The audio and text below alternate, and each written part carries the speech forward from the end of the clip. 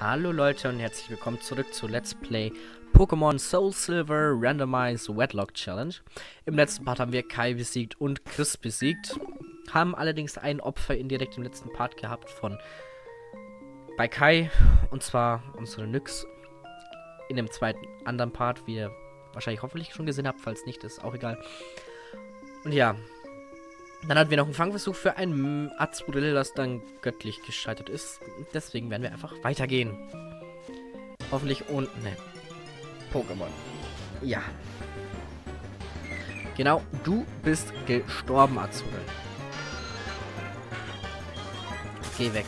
Ich will dich nicht mehr sehen. Ja, ich wollte dich gleich anstrengen. Und nein, was mache ich jetzt noch? Mein Boss wird sicher wütend auf mich sein. Die Brenter, die für uns Bäume zur Kohlengewinnung fällen, sind in den Wald getürmt. Könntest du vielleicht einen Fang? Brenter haben so gute Ohren, dass sie sicher sofort in deine Richtung drehen, wenn du es... Äh, aber das die Gelegenheit, um dich von hinten zu nähern. Denkst du, du kriegst das hin? Ja, wird knapp, aber... Das Rätsel ist ganz leicht. Als dreht sich das Porente um, hat dich bemerkt, weil du auf den Ast getreten bist. Und man muss sich dann einfach nur von hinten an das Porenta nähern. Und ich werde ganz langsam gehen, weil dann vielleicht weniger Pokémon kommen. Denn sobald du von hinten dann... Porenta! Du hast dich von hinten angeschlichen und ist erwischt. Natürlich wird dann sofort zur Seite geportet. Wow, du hast es geschafft, eines der Porenta wieder einzufangen. Vielen, vielen, vielen, vielen Dank. Aber irgendwie muss sich noch eins von ihnen versteckt halten. Du weißt ja, Porenta hören so gut, dass sie sofort an der... Ja, ja, ja, mhm. Ja, ja, ja, ja. Klappe, danke.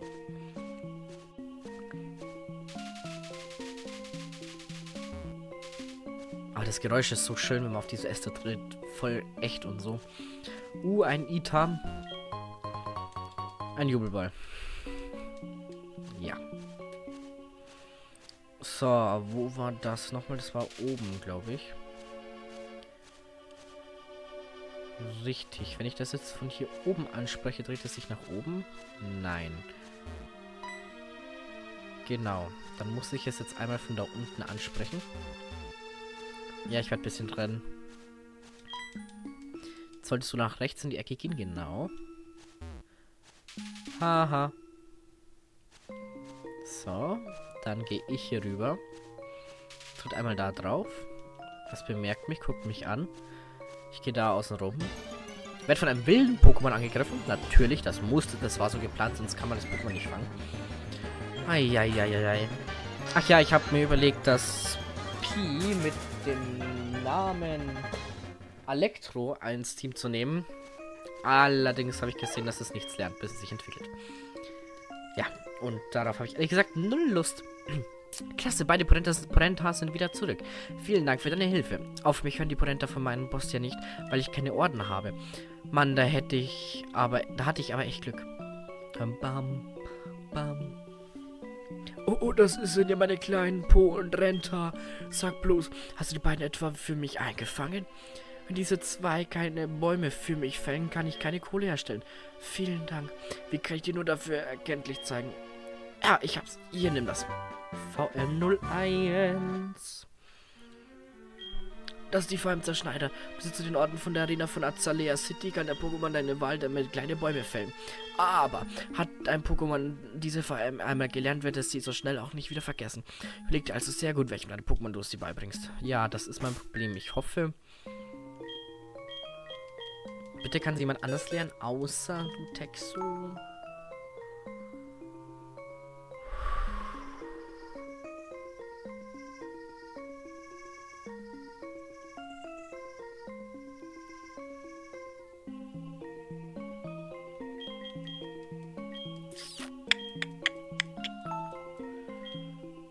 Ist ein Problem.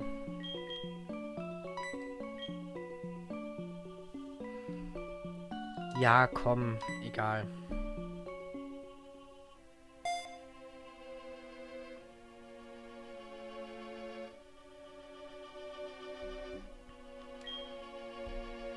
Ja, ist zu spät. Ich habe zwar eigentlich keine Lust drauf. Jetzt hat er zwei VMs, yay. Ja, warum sie das Kinder zerschnitten werden. Let's go, Canyon. Hm.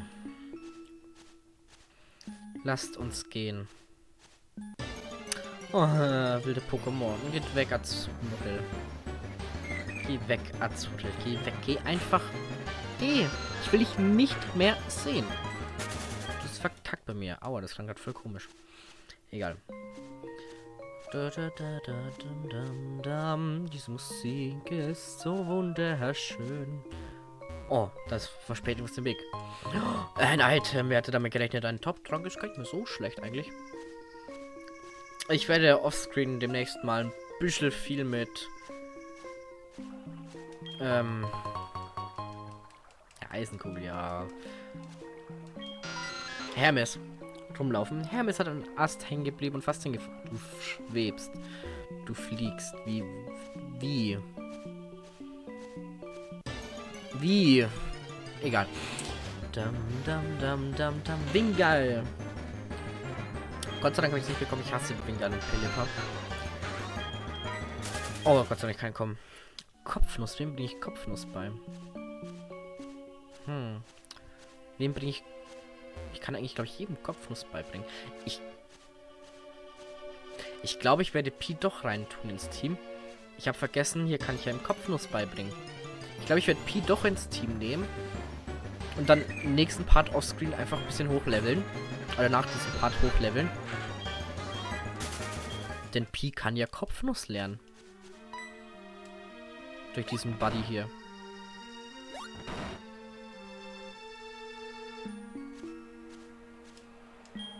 Was ich hier tue, fragst du? Ich schüttle Bäume mit Kopfnuss. Willst du es auch ausprobieren? Ich bring's dir gerne bei. Ja, bitte. Ähm, Artemis beispielsweise braucht die Kopfnuss. Ja. Für den Tackle, obwohl, warte, für den Silberblick eher. Ich bin eh Schal, das ist ja egal. Und mit Tackle kann ich zumindest ein bisschen weniger Schaden machen. Puh, noch ein Pokémon, was ich unbedingt beibringen möchte. Ja, ich könnte es Minerva noch beibringen. Ja, ja, ich will es auch ausprobieren. Wir haben es verstanden. Du bist echt gut und so, geil. Minerva. Ja.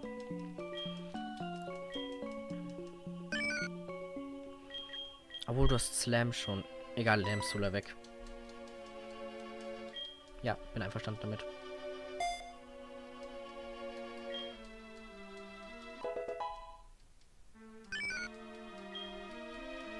Ja, nein.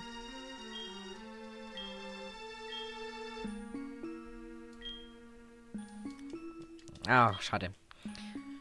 Ja, Poseidon will kennen, das will ich jetzt nicht beibringen.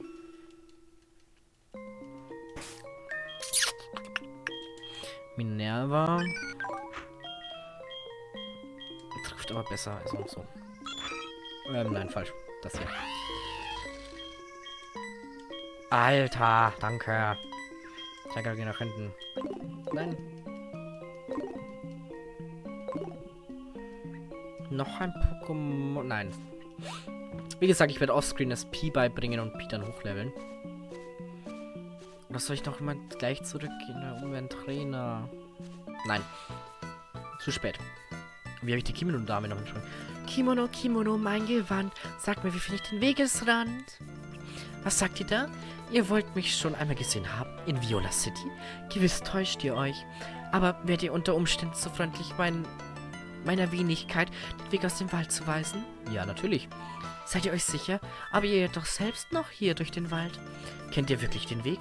Ja, mein Zubat kennt ihn ganz gut. Seht ihr? Sieh an, sieh an. Möchtest du mir vielleicht den Weg nach draußen zeigen?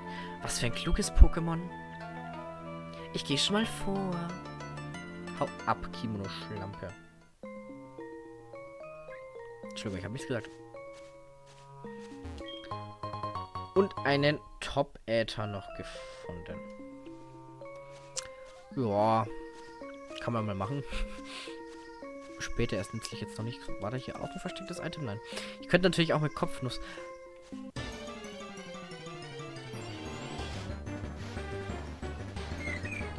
Jetzt ist die Frage, soll ich Pi in mein Team nehmen oder soll ich ähm, vielleicht in bei Kai ähm, Pokémon durch Kopfnuss fangen? Ich kann ja mal gucken. Ja, ich weiß nicht, ich weiß nicht, ich weiß nicht. Äh, äh, hm. Jetzt bin ich so viel rumgelaufen.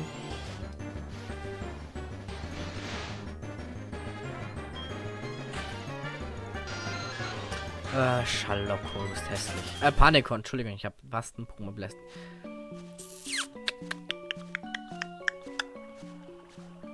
Ich. Hm.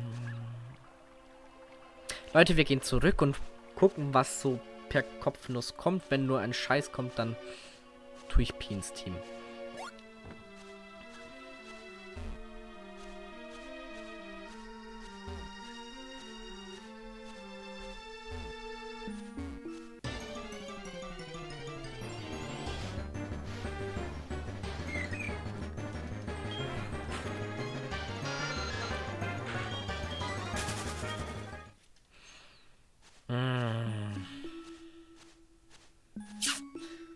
Bin unschlüssig. Es kann ja so hm, irgendein Scheiß kommen bei den Kopfnussbäumen. Aber es ist eigentlich immer noch besser wie Pi. Egal was kommt. Oh, es kommt ein Carpador. Dann tue ich sofort mein Pi ins Team. So, geschafft. Kommt hier überhaupt ein Pokémon? Also wir haben hier Bäume, die ich Kopfnussen kann. Der Vorteil hier an Soul Silver Gold ist, wenn bei einem Baum einmal kein Pokémon gekommen ist, wird da nie ein Pokémon kommen.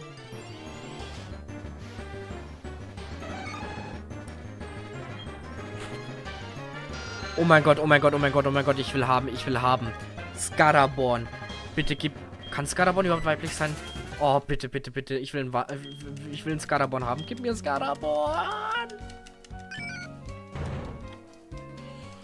Es ist der Vorteil. Man kann, ich kann jetzt einfach Nein, sei mein. Oh, oh, oh, oh, oh, oh, oh. Bitte, bitte, bitte, bitte. Ich will ein Skadabon. Gib mir ein Skadabon weiblich. Gib mir Skadabon weiblich. Bitte, bitte, bitte, bitte, bitte, bitte. Wie heißt die Stadt hier eigentlich? Ich weiß nicht, ich habe nicht aufgepasst. Bitte, bitte, bitte Skadabon. Skadabon, kein Habitat. Skadabon. Männlich, männlich, männlich.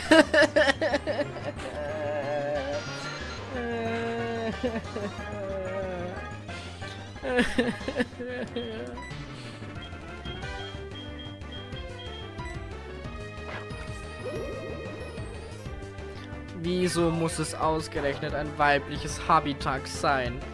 Könnte es nicht Scarabon sein? ich will tauschen. Scarabon wäre so episch gewesen. So, so, so. Scheiße, fucking episch. Tötest dieses Mal bitte nicht. Oh. Weißt du was? Ich habe den perfekten Namen für dich. Ich habe den perfekten Namen für dich, Habitak. Ein Pokéball.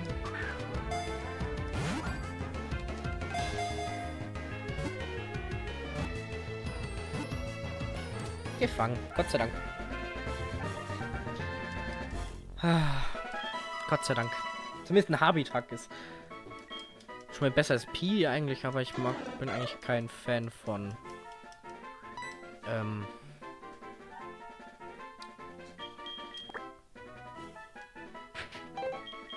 Ja. Habitat wird zu Ibitak. So, danke. Und das Habitat wird Magaira. Oder nicht Sa, sondern Magaira heißen und ist damit die zweite der drei Rachegöttinnen oder eine weitere Personifikation der Gewissensbisse. So, und wie heißt jetzt diese Stadt eigentlich? Ich hab's vergessen. Azalea City. Azalea City. Muss ich aufschreiben, damit ich es weiß. So. Was kannst du? Blöde Frage, was kannst du? Es ist frech. Schnabel und Heuler Adlerauge. Boah, gibt besseres, gibt besseres. Aber du kannst garantiert Kopfnuss lernen, oder? Ich gehe schnell heilen. Und dann gucken wir mal, ob dieses weibliche Habitat auch Kopfnuss lernen kann. Und jetzt habe ich... Mir fällt auf, ich habe zwei Flugpunkte. Alter, ich habe doch echt einen Vogel. Verdammt, der war schlecht. Egal. Ähm, wir gucken einfach mal. Kopf, kannst du Kopfnuss lernen? Please say yes. I would like to have uh, Ibitak mit Kopfnuss. Ist überhaupt lernen? Ich weiß es echt nicht, Leute. Ich bin gerade. Ich bin. Ich bin auf siebter Generation, nicht mehr auf dritter, vierter. Vierter. Geh weg, du Scheißbaum. Ich mach dich boot. Ich mach dich kaputt. Ich mach dich kaputo. Was? Also ich werde dann offscreen erstmal. Da Habitat. Den Namen ich wieder vergessen habe. Es ist Magaira. Magaira? Hm.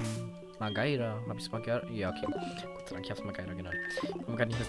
Oh, natürlich. Ich kann einmal ein Stück und schon kommt ein wildes Pokémon.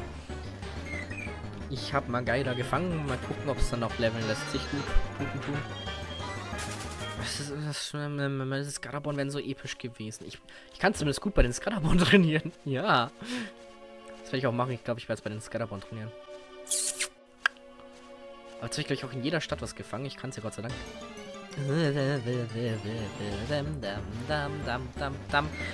Scheiß Azurel, geh weg.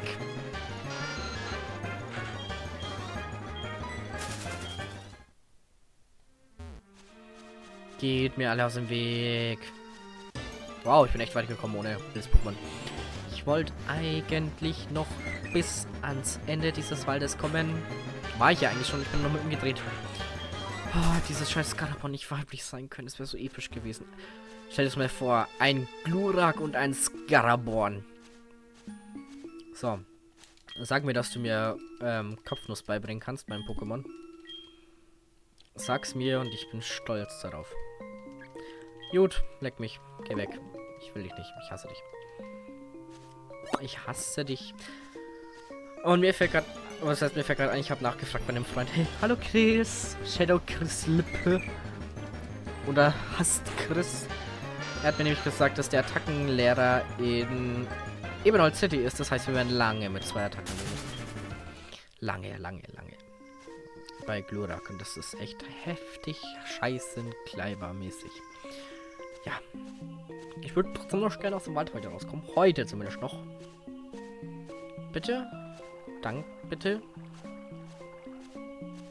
Ja. Danke, ich hab's geschafft. Wow, ich bin draußen. Ähm, wer von euch gibt mir nochmal die TM? Du nicht, dann gibt's sie mir die TM. Geh weg. Ähm, du hast doch noch eine TM, oder? Genau, TM12. War das nicht Rückkehr oder so? Verhöhner.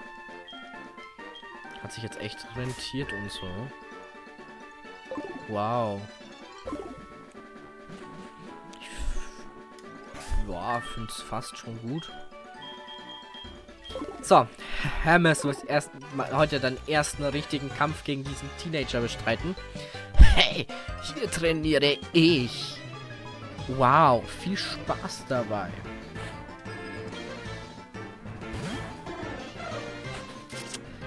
Ja. Bis es sollte auch gut Schaden machen. Du kannst nur Schnabel. Wow, tot. One-Hit. Wow, gut gemacht, Hermes. Ein Dodo von Guido.